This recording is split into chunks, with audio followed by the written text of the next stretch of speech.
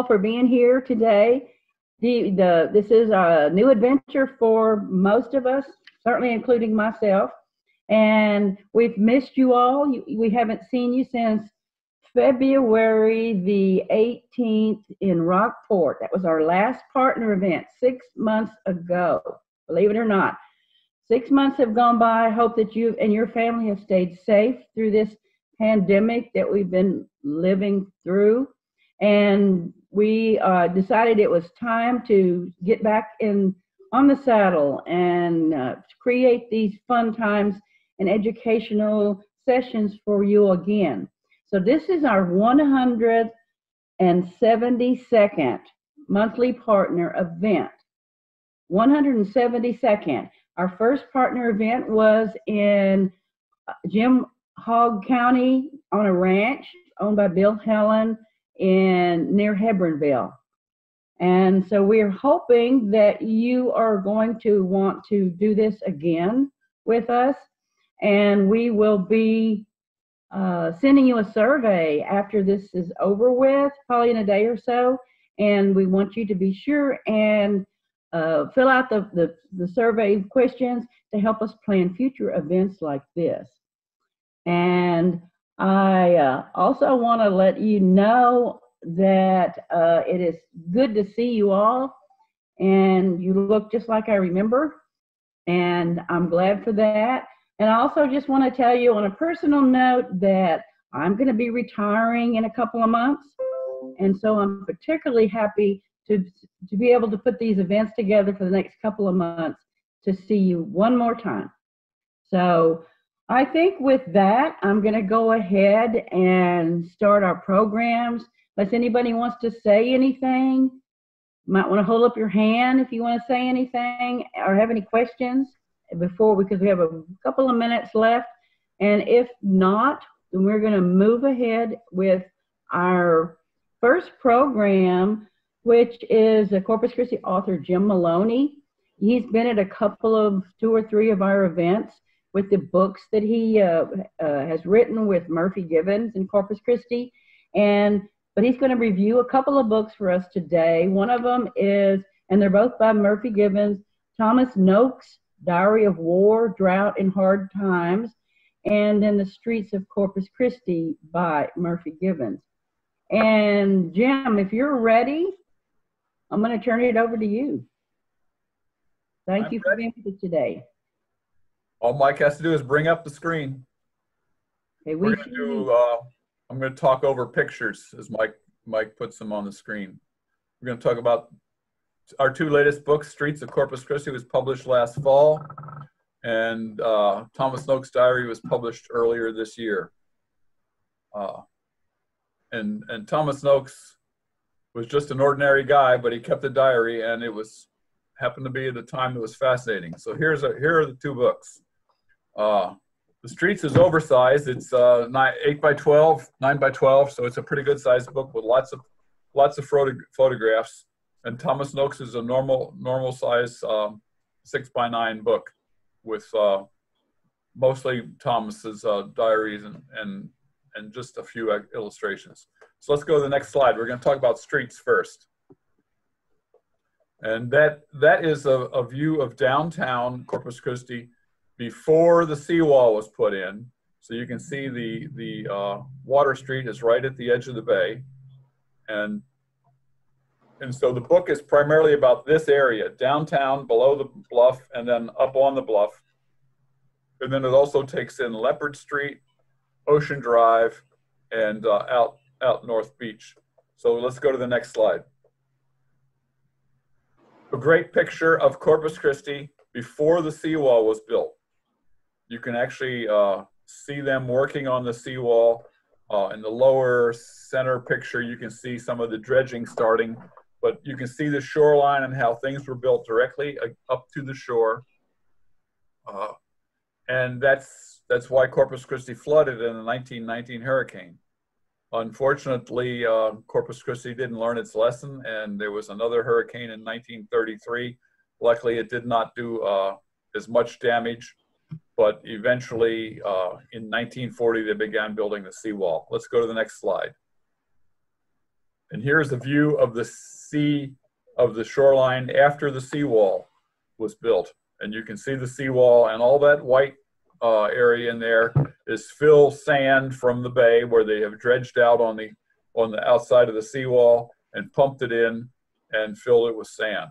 Gives you an idea of how much land was added to downtown Corpus Christi. Uh, this is before uh, Shoreline Drive was put in, before the T-heads were built, but uh, gets, it gives you an idea of, of what was filled in on uh, downtown. So these are some of the examples of photographs that are in the book with uh, then a description by Murphy. Let's go to the next page. A view down Chaparral Street in the 1940s. On the left-hand side is the uh, relatively famous Lichtenstein's department store, which was demolished a few years ago and has been replaced by uh, some brand new uh, apartments in downtown Corpus Christi. And uh, so the whole city has changed since then. But Lichtenstein's was famous in the area as a great department store, and eventually it went out of was acquired by Frost, and was went out of business in the in the 80s. Next,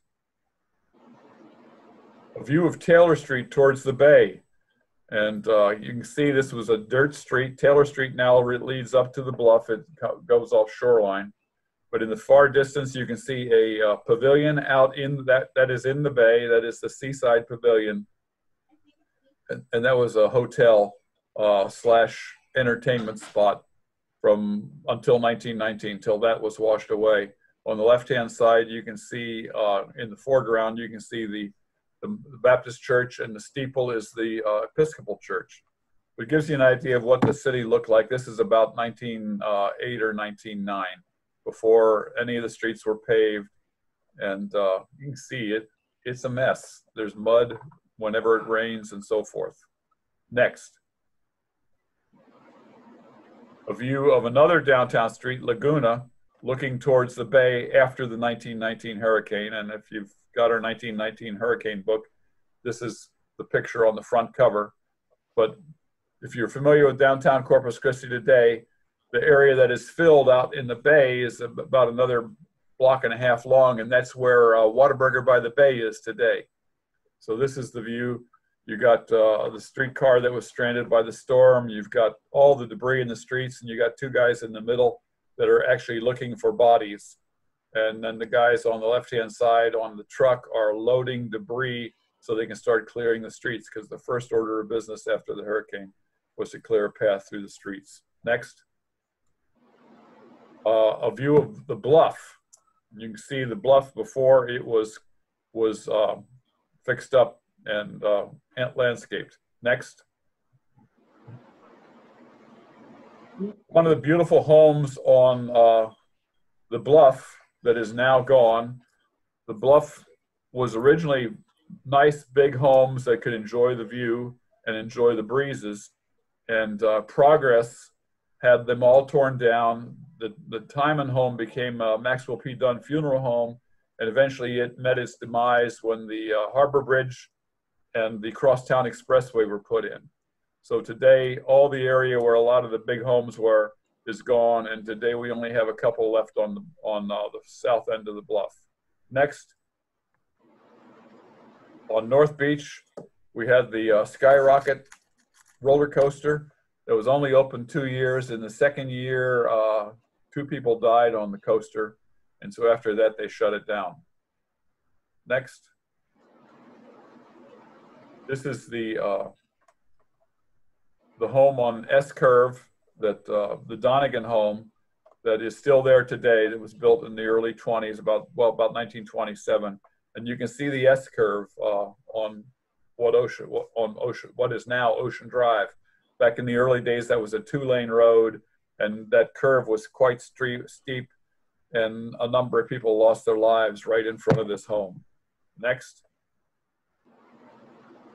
Now we're going to go to the Thomas Noakes diary. This is Thomas Noakes. This is a self-portrait that he drew of himself. He was a talented man, but a poor man. He could do anything. He could draw, he could paint, he could repair things, he could build saddles, farm, he tried to ranch, but he came with very little money to the United States uh, in 1853 and worked for a while and then settled in Nueces Town and tried to ranch on his land. Next. Uh, for those of you that don't know where Nueces Town is, uh, there's a map with Corpus Christi, and if you look to the uh, about 10 o'clock and go down Upriver Road where that circle is, that is where Nueces Town was. And if you bought 100 acres of land from from uh, Henry Kinney, you got a town lot in Nueces Town. So lots of lots of people settled there. That was the only town in in South Texas uh, in Nueces County besides Corpus Christi, and that's where immigrants, primarily from uh, England and Germany, but from uh, Europe, came.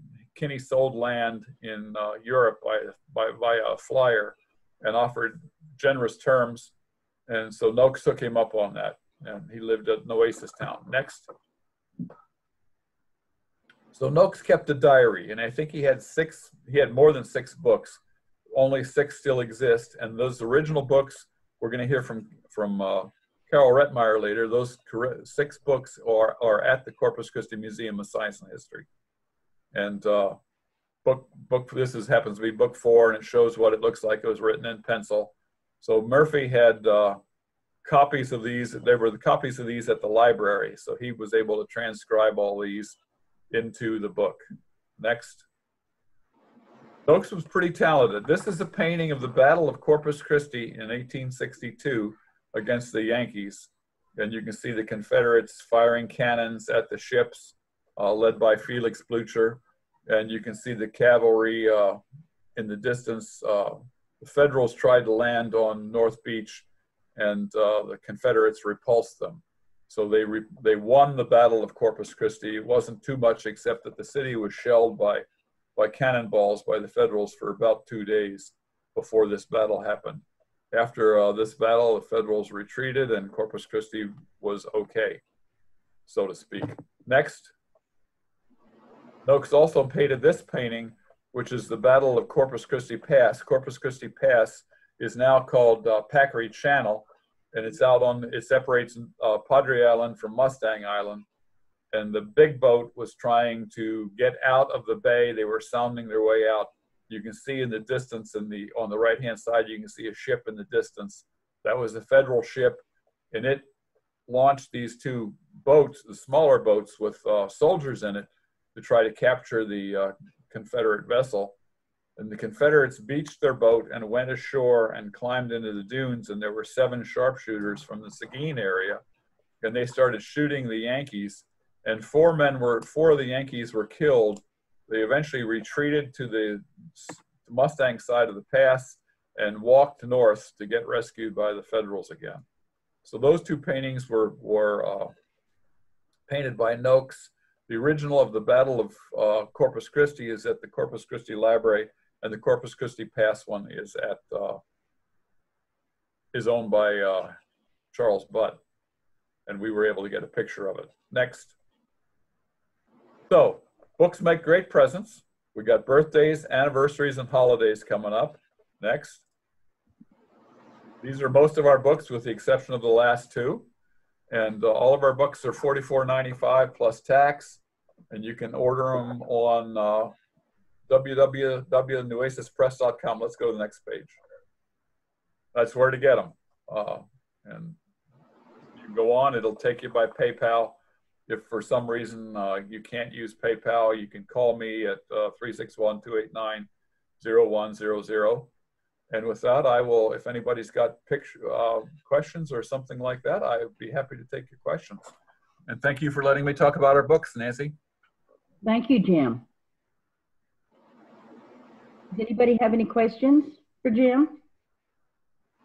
You have to click your mic. If you got a red mic on, you can click it. Um, how large are those paintings that we just saw, those ones by Noakes? They're both about uh, 18 by 24. They're watercolors. Beautiful. And we're lucky to still have them. I know that most of, he was, a, he was a poor man, so he was trying to sell those those paintings, and I'm guessing that he did was able to sell both of them. Uh, he he paint, he painted a lot. uh, think about living in the 1860s and 70s with uh, no electricity. He was uh, he would have been working by candlelight at night, so most of the stuff was during the done during the day. So you say he painted a lot. Uh, how many paintings do you know of? Those two.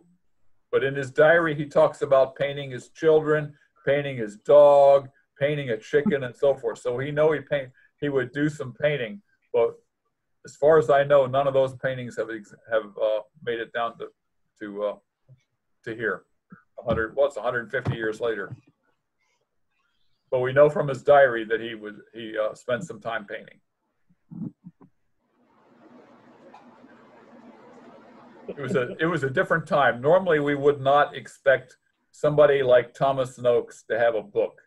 Uh, he was he did virtually nothing famous except for painting those two pictures, and then his his store was raided by Mexican bandits in 1875, and so uh, those are the, the, the few things that uh, made may, may might make him known today.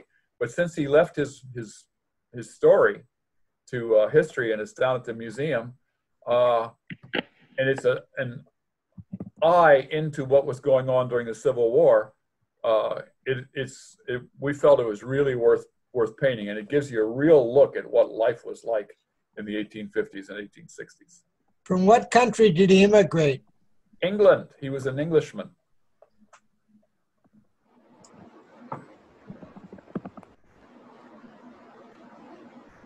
I've just put a, a message up that some of you hopefully can read uh, to say that if y'all need Jim's info, if you're interested in ordering a book, if you don't didn't get an opportunity to save his information, you can email me and I'll be glad to send it to you. And all you got to do is Google Nueces Press, one word, Nueces Press, and that has a contact if you want to contact me, or you can see all of our books. We've got 13 books on the site there's three different pages. So when you get down to one page, you got to click to go to the next page and so forth. But all the books are on the website. They all have a little blurb on them about what they are, and you can see the cover of the book. We thank you very much, Jim, for being with us today, and uh, we look forward to having you another time as soon as we you. Got a, we got a couple more in the works, Nancy. So I'm game when you when we get back to meeting again. I'll be happy to to join you. Great, thank you very much, and I, I want to back up for a minute. Been too long since we've done this, obviously, because I forgot to even introduce myself. My name is Nancy DeVinny. I'm the executive director of the Texas Tropical Trail 20 County region. I live in Live Oak County on the shore of Lake Corpus Christi. And so I know most of you know me, but I just wanted to throw that in there. And I also want to let you know that now we're getting ready to have a virtual tour of the Port Aransas Museum. And we're going to have Cliff Strain, who's the director of the museum. He's going to tell us about the museum's exhibit going on right now. It's called the Tarpon Era. It was the 1880s to the 1950s. And when Port Aransas, the, the city's activities centered around tarpon fishing. So Cliff, I'm going to turn it over to you and Mike, please.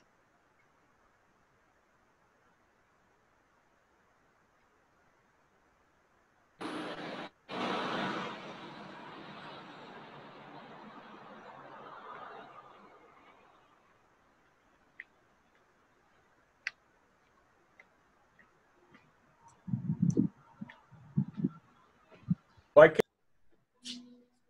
Dr. Behrens, uh, who led the team on building the exhibit, and he's going to do the introduction. Port Aransas is actually a bad name for the town because it was a port for only seven years, whereas it was a fishing village for something like 140 years. And um, um, for about seven decades, the fishing was for tarpon. People came from all over the world to uh, to catch tarpon here, from the uh, farmers taking their uh, winter breaks in their pickup trucks to uh, Franklin Roosevelt, the president, coming to town to fish for tarpon. One of the visitors that no people don't know too much about is Aimee Semple McPherson. Have you heard the story of Aimee McPherson? Aimee McPherson, that remarkable person. She weighed 180 and her hair was red, and she preached a wicked sermon, so the newspaper said. One day, they had a camp meeting down by Ocean Park. She preached from early morning until after dark. She said benediction and folded up the tent, and nobody knows where Aimee went.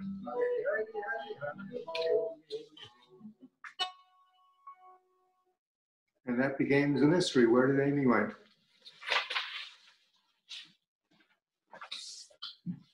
Hello, I'm Cliff Strain, the director of the Port Aransas Historical Museum, and uh, welcome to our exhibit.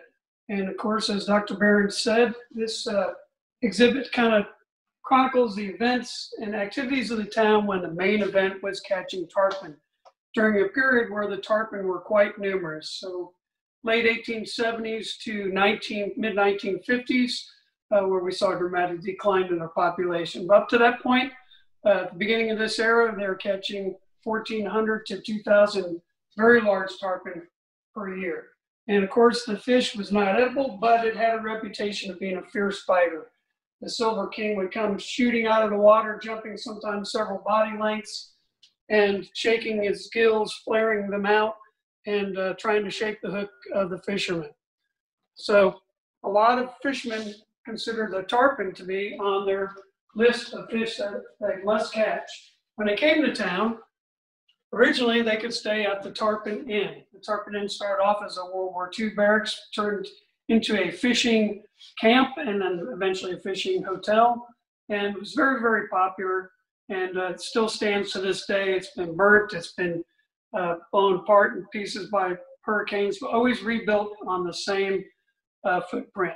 And if you stayed at the Tarpon, it always has been a tradition that you would get one of these awards if you caught a tarpon while staying there, and they would put your scale up on the wall. And to this day, you can still go into the Tarpon Inn lobby and see those tarpon with the names and the dates of the people that caught them. And they're very large scales, so it's very easy to read. If you didn't stay at the Tarpon for a short period of time, you could have stayed at the Tarpon Club. This is a very little known secret of a place that existed on the south end of St. Joe's Island.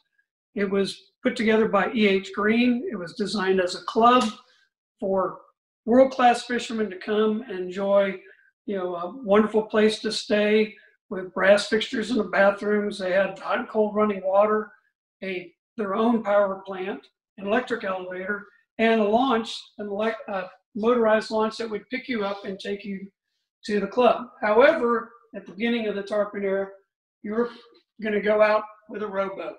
So if they, when somebody needed a guide to take them out, they would put a flag up the Tarpon Club, and then people here in Tarpon, Texas, the name of our town before Port Aransas, would see their flag and row across the channel to pick up their customer and take them out to the end of the pass to fish for tarpon. And then later again, rowing them back to the Tarpon Club and rowing back to tarpon. So the early tarpon guys were pretty sturdy lot as far as being able to do all that rowing. Of course, toward the, the uh, toward the end of that period, uh, we started as the Tarpon Club was was uh, kind of disassembled in 1905, uh, but uh, the, they continued having tournaments till about 1909. The boatmen started coming on. They came on much later. And for those of you that have never seen a tarpon, this is a natural skin mount of the winning fish of the Tarpon Rodeo.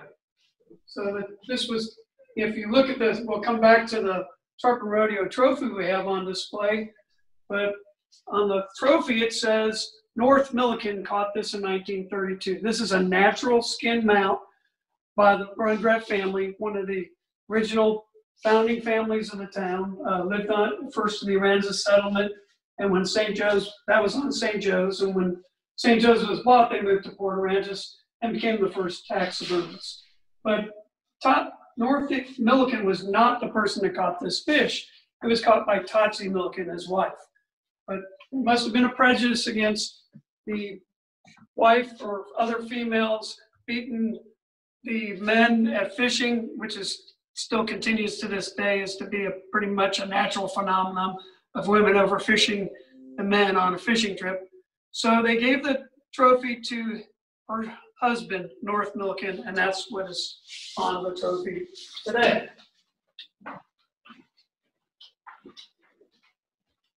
And here is the trophy with North Milliken's name right here. So a little bit of injustice in that first Tarpon Rodeo. That was the first Tarpon Rodeo, which became the Deep Sea Roundup.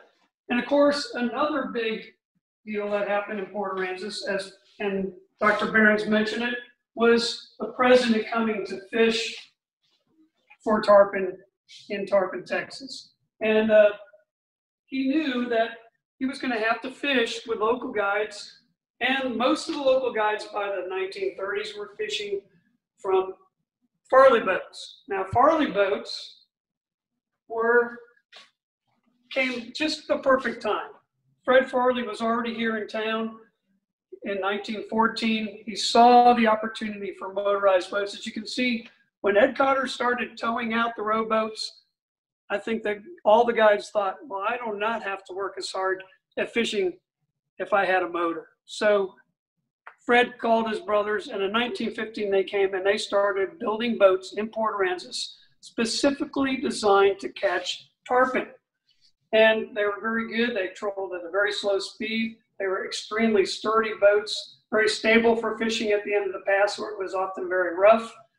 And also they were very low to the water, so you could pull that heavy fish onto the boat once you've caught it. And the president recognized this. He understood the seaworthiness of the boat. He knew that if he was going to have a good chance of catching tarpon, he needed to fish with local guides on this locally built boat specifically for tarpon. And in 1937, he did exactly that, fishing with Don Farley in this picture. And you can see two Secret Service men in the front. Elliot, his son, helping hold up the fish with, with Fred Farley and Don Farley at the helm. Uh, the next day, he fished with Ted Matthews on the sister boat to the Manny boat. And when I say sister boat, I mean it more in ways than one because Manny Matthews, who uh, just recently passed away uh, last week, his dad owned two boats, and, and he named them after his kids. Manny boat was this one, and one he caught the fish on with the president was the Marcy boat, as you can see in this picture. And also, you can see this is supposed to be the uh, rod locker that the president used to carry his rods and reels when he came down, because he came down initially on a destroyer, one of two destroyers, and the presidential yacht, the Potomac, which he came, which he stayed on in the channel behind the St. Joe's Island. So, and for more information about that trip, you're just going to have to come and visit. Uh, the end of the Tarpon era, after you know World War II uh, and into the 1950s, you know, there's a lot of discussion why the tarpon disappeared. And uh, the popular theories are that it was overfished. And the truth is, it might be a combination of all these uh, theories. Another one is the, the uh, dynamiting and netting of tarpon for food for pets in Mexico may have further uh, declined the population. And uh, a, a lot of scientists believe the increase in salinity, saltiness of the bays due to the damming of the Nueces River and other small rivers and creeks in, that fed into the bay system, increase the salinity and tarpon larvae, which is uh, explored in a, a, separate area where we have some scientific posters about tarpon. Tarpon larvae appear to be uh, very sensitive to high salinities, and that might be the reason why that population never came back. So uh, if you'd like to find out more about our the tarpon era, please come by. We have some incredible uh, different types of antiques on sale. We have, I mean, on display. We have a, a coffee and creamer set from the Tarpon Club, which is you know one of the few remnants left after it was sold for parts to a to a Corpus Christi hotel. And also, if you want to uh, hear more of the Aimee McPherson ballad, you can also get Dr. Behrens to play more for you, and he's gonna, we're gonna finish off with a couple more verses to tantalize your interest in the ballad. Dr. Behrens? Well, that's the question we left off with, where did Aimee went? And uh, nobody really knew until we started putting this Tarpon era together. And I started going through the archive pictures that we have of Tarpon and the people that caught them and found this one of Aimee McPherson standing next to a Tarpon, said that she caught the Aransas. So that's solved the mystery, but the Californians didn't know that. So out in California, a grand jury started an investigation, turned up a lot of spicy information, found out about a love nest down in Colorado by the sea where the liquor was expensive, but the loving was free. Found a little cottage with a breakfast nook, worn out bed, pull down bed with a worn out look. The slats were all busted and the springs were all loose, and the dents in the mattress fitted Aimee's caboose. So they cau- caught, caught poor Aimee and they put her in jail. Last I heard, she was out on bail. They'll send her up for a stretch, I guess. She sure worked herself into an awful mess. There's a couple more verses, but again, you'll have to come to Port Aransas in the museum to hear them and put a few dollars in the contribution box. So we hope to see you there. We're open Thursday through Friday, one to five. And uh, we can also do groups uh, on, you know, by appointment at other times. Uh, All you have to do is call the museum or visit our website, portaransasmuseum.org. Thank you very much for visiting the Port Aransas Museum and the Tarpon area. Thank you. Thank you, Cliff. And we appreciate your participation today and your tour, and we look forward to visiting you in person soon. Thank you very much. It's a pleasure participating. Now it's time to um, introduce our board members. And maybe if some of y'all haven't figured out, um, if you uh, you have a choice of gallery view or speaker's view, if you want to um, change the video to um, a big video. Um, Nancy, thanks so much for putting all this together. And uh, welcome everybody to this brand new adventure uh, during this partner event. And uh, I'd like to introduce uh, the board members. My name is Valerie Bates. I'm the board chair and the marketing director for the city of Port Isabel. And um, really excited to have everybody here and excited to see this programming. I hope it inspires you all to stay in contact with our museums, which really need the support right now and always. Um, Bart, are you on? Yes, I'm here. Did you hear me? Yes. You want to introduce yourself, please, and and what's going on with the Refugio Museum? Bart Wales with uh, I live in Refugio. I am the director of the Refugio County Museum. Uh, we are getting ready to have our museum demildewed and mold removal, and we anyway, it's been a nightmare. Thanks, Bart, and thanks for hanging in there. Uh, Wanda Greenhill, unmute yourself. Uh, Mark Carlisle, Carlisle? Yes, uh, Mike Carlisle, and I'm from the um, I'm, uh, Corpus Christi. I'm with the Nueces County Historical Commission and uh, South Texas Historical Association. Uh, as you mentioned about the museums, uh, if everybody will, uh, at the tail end, we're going to have a little trailer just to kind of introduce the museums in our area. Yes, one of the projects that we've been working on over the past six months is to gather an inventory of our museums um, and do what we can to add a voice to theirs to uh, remind folks of the treasure of museums that we have in our region. We were actually very surprised to learn there were a few museums out there that we were not aware of. So in our 20 county regions, we have 81 museums and very proud of that. Uh, but do remember that they need your help. Uh, contact contact them, uh, buy their books, um, support them on social media. It all counts. Wanda, are you there yet? I think I am. Can you hear me? Okay, Wanda. Okay, my name is Wanda Greenhill. I serve on the Rio Grande Valley Museum Association of Harlingen, which supports Harlingen Arts and Heritage Museum. We have continued to work on our historical museum uh, through this pandemic. Um, we're coming along nicely, and hopefully, in one of these sessions, you're going to see some pictures of how we're coming along. And glad to be here, and I think this has just been grand. Yes, we're going to have a sneak peek of uh, uh, behind the scenes of the Harlingen Museum project. It's um, absolutely beautiful and inspiring. Uh, Penny Pelak. Yes, good morning. I'm Penny Pelak. I live in Agua Dulce, which is between Alice and Robstown.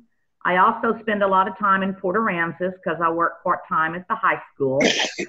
I'm a member of the Nueces County Historical Commission and I do the bulletin for the Nueces County Historical Society. And it's so great to see everybody out today because we have really missed y'all. And thank you, Nancy, for putting this together. And Mike, thank you for all your technical support. Thank you, Penny. Uh, Lori. Lori Hi. Bellows. I'm Lori Bellows. I'm from Refugio, Texas, and I'm chairman of the Refugio uh, County Historical Commission and um, on the board of the uh, Refugio County Museum. And this has been great, and I've enjoyed seeing everyone. It's great to see you, Lori. Edward Meza. Good morning, everyone. My name's Edward Mesa. I'm live in Port Isabel, and I'm fairly new city manager for the beautiful town of Laguna Vista. And uh, I'm on the board of the Cameron County Historical Commission. And I thank everyone for being here. It's just a wonderful event. Thank you. Thank you, Edward. Um, and we're, we're missing uh, Marlette Bond today, who is also a board member because she's busy at the King Ranch getting tours. We're happy to announce that they have reopened. And, um, you know, it's a, a sign of life. Um, I also would like to introduce um, Teresa Caldwell. Uh, she is the uh, program coordinator for the Texas Heritage Trails program. Teresa, Yes, I am here. I am the state coordinator of the Texas Heritage Trails program, and we're really happy to see everybody. And um, thankful that you could pivot um, in this pandemic time because you know we all need to get information in a different way now and we want to continue with your wonderful events. And so we just we're just very happy that you're able to do this and we think it's a great benefit to everybody and something that'll outlast the pandemic. So something you can incorporate into you know maybe your upcoming events as well even when we can get together in person. So very happy to be here and to see everybody Uh, it's been great. Of course, we've been staying in touch throughout, um, you know, over the last past six months as, we, we've evolved to this stage. Um, and it's been a true partnership here in our region and with this state agency. Um, very, very important. Um, Teresa, did you want to say anything about the TACVB award that was given out for the um, at the for the state fair exhibit? Um, sure, I can do that. Let me see where my information is. So we're very happy to congratulate the executive directors. They received second place in the cooperative marketing category at the Texas Association of Convention, Convention and Visitor Bureau Idea Fair, and that was for their destination days. And that's something the EDs put together at for State Fair to highlight um, a particular destination each day. So we know how much time and effort you know you put into preparing for and then participating in state fair. So we always have a booth in the Go Texan Pavilion. Um, but it's really nice to see that your good work was acknowledged. And so, you know, cheers to a job well done to all of them. Um, so unfortunately, as many of you probably already know, there will not be an in-person state fair this year um, for obvious reasons. Um, but Go Texan, Texas Department of Agriculture wanted to be able to highlight um, all of the participants that would normally be in the pavilion. So they're putting together a website to do that. So it'll be like a virtual Go Texan Pavilion. And so one of the good things about that is that they asked for a video highlighting what you would be highlighting at the booth. And so when I got with our communications people, we didn't really have a good video that highlighted the entire state heritage tourism for the entire state. Um, so um, very quickly put together a pretty good video um, that we will be, and I think the board has seen it. We're going to wait to roll it out until it's up on the um, Go Texan Pavilion website. Um, but we think that was uh, something really good to come out of it because we can use that video in a number of ways. So we're very happy with that. And so starting September 25th, when the the regular state fair would be would have been opening, that's when the website will be available and they'll be promoting it a number of ways. And that's when, you know, everybody can see all of the everything that should have been in the pavilion. So they're trying to do what they can since we can't be in person as well to pr promote products and make sure people understand, you know, all the good things that are still going on. So those are a couple of good things. Some of us have uh, been able to get a sneak peek of that video. Well done to communications. Uh, so we're excited to roll that out over our digital channels when we get a chance to. Yes. Thanks so much for joining us today, Teresa from uh, Austin or the environs. Round Very Rock. in my kitchen in Round Rock. um, I'd like to introduce uh, Rick Stryker, our ex officio board member in Austin. Rick, Ooh. Hello, Rick. Okay, did I unmute?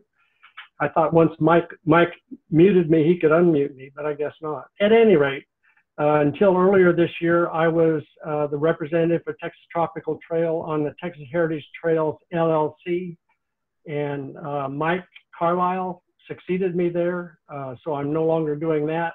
Uh, but uh, one of the things that the that the LLC is doing is publishing, of course, the Authentic, Authentic Texas magazine. And the solution, the, the uh, workaround is to have that become as much online and subscription available as possible. So authentictexas.com um, is uh, at least until we are able to distribute magazines again fully, is the primary source for accessing the Authentic Texas magazine. Thanks so much, Rick, for hanging in there with us. Um, and I'd like to introduce Commissioner Monica Burdette, joining us from um, some undisclosed location, no doubt. A secret, you know. Actually, I'm seeing so many of my um, neighbors on the screen here today. I, I, see a lot of Rockport people here, and I'm so happy about that. Um, I just want to congratulate you, the Texas Tropical Trail Board, and Nancy, and all of your hard work and inventiveness in getting this launched. You know, as somebody just said, it's, we're doing everything different nowadays, and we're all learning as we go along. And I just think that you all's creativeness is just amazing. Um, for those of you who may not know, there are 10 different heritage trail regions in Texas, and we happen to be part of the Texas Tropical Trail region. And by far, in my humble opinion, you all are the trendsetters for the other nine trails because you all just never give up. And I applaud you for that. And thank you for making it, you know, keeping us in mind as to what we want to see. And you all just never fail. So thank you very much for doing this today. Commissioner Burdette, we really thank you for all your support uh, that you've been for us to the rest of the commission um, and your enthusiastic participation in our programs. Thank you so much for joining us today. My pleasure. Um, Nancy, you want to introduce the next speaker and get us back on track? Sorry, I got us off time. And um, your your your reach uh, did not get me. I think that, uh, well, I know we're running a little over time, and so we're going to extend everything for about five minutes so we can get back on track because we have a, our, our next presentation is from Carol Reitmeyer, the president and CEO of the Corpus Christi Museum of Science and History, and they're going to do a, some little vignettes. We're going to watch those in a few minutes, and they are performed by professional actors and it's going to be a little teaser because our September 15th event, which you want to mark your calendars, is going to feature the Corpus Christi Museum of Science and History with some other programs that we'll soon be telling you about. But for now, I'm going to turn it over to Carol and uh, go ahead and do as you have planned, and we'll just uh, go with the flow. Thank you so much. Can you hear me okay? Yes, thank you. So really a pleasure to be here and thanks to everyone. And um, also I just want to say hi to Rick Stryker. Rick has been a long time uh, director, I think over 30 years here at the museum uh, prior to me and just want to say a, a, shout out to him and good to see you. Um, yeah, we're excited at the museum. We've actually been open since June. We had an incredible summer camps that I can't believe we actually made through 11 weeks during COVID, but they were successful. Um, and we are now doing a museum academy, and that's to help kids who are, are required to stay at home uh, because of COVID and school closures and home learning. So we're helping those with uh, parents who have to work. So we have an incredible program going on. Um, other than that, it's a little quieter than normal, uh, but we still do have traffic here at the museum and it's very safe and a lot of protocols. So we welcome you to come out if you're feeling comfortable to, to get out. Um, this is a great forum and we're excited about it. We have something here at the museum called Museum Live, and it's our way of making history come to life. And we make it come to life uh, through uh, actors. And we have actors, our, our full-time employees here at the museum. And of course, my phone would ring while I'm talking wouldn't it, we just, here we go. Uh, full-time um, actors here at the museum and they make history come to life. And it's really helpful, particularly for the younger family members who come to a museum and aren't able to read. We're adding a lot of new exhibits too, and I'll tell you about that later. But we have little snippets. So these are little shorts. Um, normally, each one of the sections are a little bit longer and, and a little bit more information, but I think you'll enjoy it. And coming up September, we are going to give you um, a kind of behind the scenes uh, a tea with uh, Petra Kennedy is what we're looking at doing, and you'll see more about that. So it'll actually be very informational, but in a uh, historical sort of uh, tea talk. So I think you'll enjoy. Anyway, I believe you have the video on your end, and I hope you just enjoy. This is just a little bit of playfulness and fun to see three vignettes taking place at the late uh, 1800s, so kind of following along with the other two stories.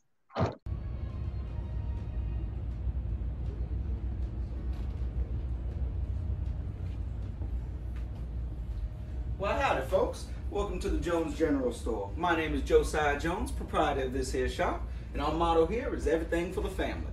Everything for the young, everything for the old, and of course, everything for those of us in between.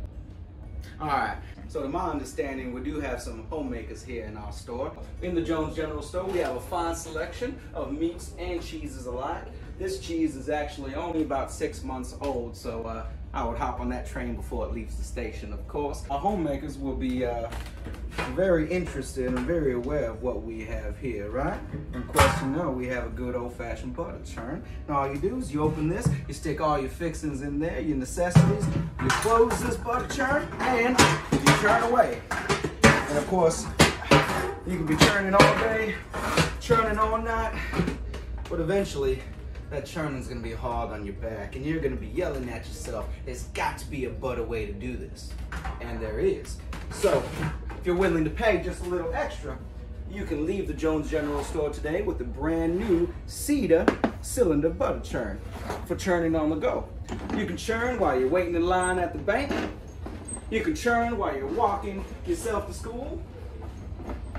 Or you can churn while you're taking a nap. That's my favorite way to churn butter. So one of the important things I always love to discuss with visitors is the difference between shopping with a small town store owner like myself versus shopping with Mr. Sears and Roebuck and their fancy mail order catalogs. Yes, they're quick, kind of quick, but there are things that I can offer you as a small town store owner that they cannot. One is the environment that you can get whenever you come into my store come in, I'll welcome you with the greeting, ask you how you're doing. Uh, maybe your carriage is a little weak, one of the wheels, so I'll talk to you. We'll get a hold of the blacksmith and we'll get that fixed up for you. Maybe your cousin, I heard he had the gout, so maybe I can help you with a couple of oranges, some nice fruit to give your cousin. Oh, I got you. If you are down on luck or down on times, we are willing to trade and barter for goods and services. So you come on in, you tell me, Mr. Jones, I need some help with this or with that, I'll be more than willing to help you A barter something. Maybe you can do a service for me in exchange for one of my goods. And before you leave here today, I do have to mention the sale that we're having on these nails right here. Very special, very durable nails. So durable, I have a guarantee on them. You go ahead and take these nails home, build a house out of them, your house will stand for 500 years. And if it doesn't, come back in 500 years and I give you your money back. You can't get any better than that.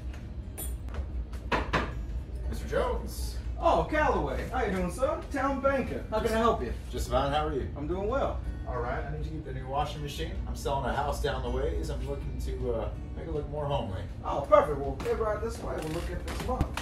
Very nice model, too. Very sturdy. Oh, come on in. I'm sure you're uh, Miss Lucy, the new schoolhouse teacher. Pleased to meet you, Mr. Calloway, town's banker. I was hoping to purchase a house. Oh, excellent. This here is the house for you. Let me show you what we're all about here. Comes fully furnished. You get this nice brand new rug beater for beating dirt and whatnot out of your rugs, making them brand new again. I tell you, you can't beat this deal. The floors here are nice cedar wood planks, nailed in nice and tight, using square nails from the general store on down the road. Now the walls here, I mean, I don't know if it's called shellcrete. It's a brand new material, which is composed of uh, sand, sill, lime, and baked oyster shells. You can't eat them though, sorry about that. Comes with this nice new water pump installed in home. So you can get your fresh clean water indoors. So what are you waiting for? Make this house your home. Installed in the home, this brand new potbelly stove for keeping you nice and warm in those cold, cold nights. I see you have a washer over here. Yes, we do. This is a newer model. You see, you just take open the lid, throw your clothes and whatnot in there, your water, bar of soap or two, close up real good. And instead of your uh, your old classic handle, we've got this here new foot pump too, so you just give it a few go pumps like so. Oh, it even has its own ringer. Yes, ma'am. Ain't that something? Real time saver right there. So, Miss Lucy, what do you say? Will this house be yours? Okay, Mr. Calloway, thank you so much. It is getting a little dark outside and I have to head back to the schoolhouse. Oh, yes, it is getting mighty late. Again, I'm the best banker here in town. You can find a better deal anywhere else. So uh, just make a decision and we'll meet up again soon, all right now? All right. I appreciate your help. Thanks for stopping on by. I appreciate it. Thank you, Miss Lucy. Have a good night. Oh, hi, good afternoon. I understand you family are new in town and are looking for a new location for education. Now, it is a little bit after four o'clock, so class is done, but you do look like you've been riding the Shanks mare, so come on in and we'll make your trip worth it. School starts sharply at 8 a.m. every morning. I'll go ahead and ring my bell. That will prompt everybody to go ahead and line up right outside my door. Once I see everybody's nice and lined up, we'll go ahead and come on right in. We do have our youngest at the front, oldest at the back. Our pot belly stove is nice and ready and hot with our water. We bring it right over here and wash our hands, clean ourselves up. Now, some of us do get a little bit dirty. We had quite a walk in the morning, so that's understandable. We'll go ahead and hang up our coats right over here. We grab our eclectic first reader and we go on ahead and take our seats for the day. Now, I gotta say, I'm very thankful for my community. Because of them, I have this blackboard here that's made of slate. We also have small slates for all of our children. I know you might be a little bit worried about the yellow fever, but don't worry, we do have a brand new hospital in town, and I'm sure Dr. Spohn will be ready to take care of you any day. So if you have any questions, let him know about that, okay? It is getting a little late, and I do have to go, so thanks for stopping by, have a great day.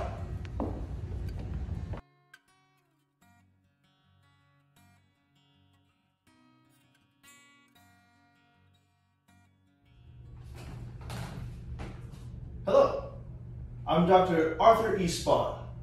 Come in.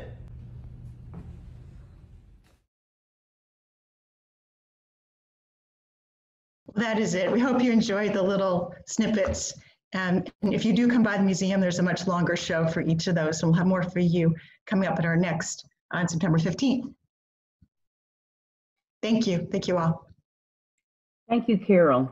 We appreciate it. And I know that everyone is going to look forward to September 15th and having an opportunity to visit more of the Corpus Christi Museum of Science and History.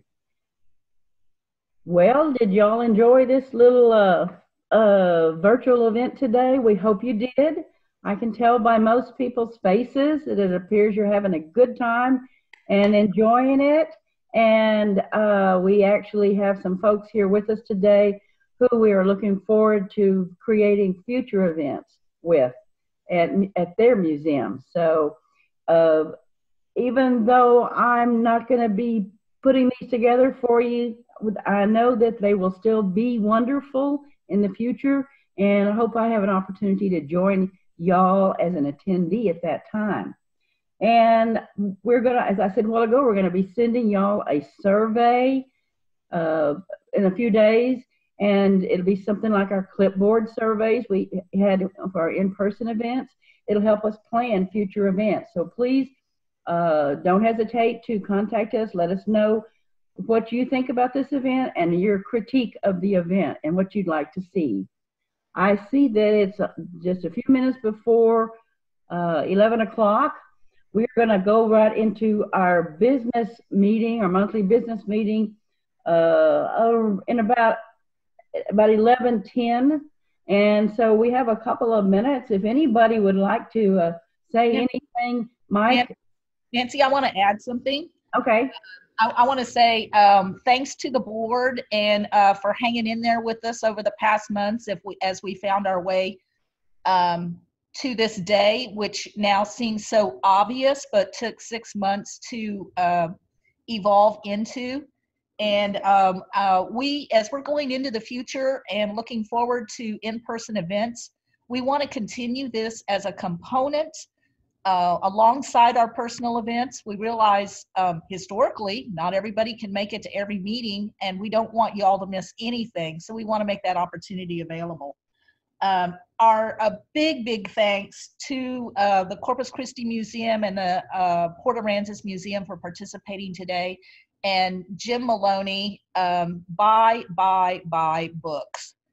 And we need to support our local museums and our um, uh, which often sell books also and our local authors. Um, big thanks to nancy for um, dusting off the partner event uh, template and uh, shoehorning it into this virtual event well done and thanks to everybody who joined us today if this is your first time experiencing a partner event imagine what it's going to be like um, in person because we have food. So um, uh, thanks so much for, for joining us today and looking forward to September. I'd like to say that I want to give, it couldn't have been done without Mike Carlisle and Valerie as well. And it gave me lots of nightmares, but it went off perfectly. And I thank you very much.